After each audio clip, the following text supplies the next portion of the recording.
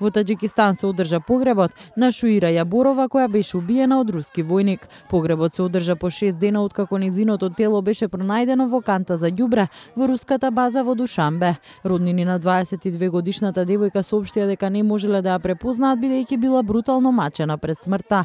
26 годишен руски војник беше уапсен, но неговото семејство тврди дека уште тројца војници се замешани во случајот. Во август двајца руски војници од истата база беа осудени за убиство на такси возач.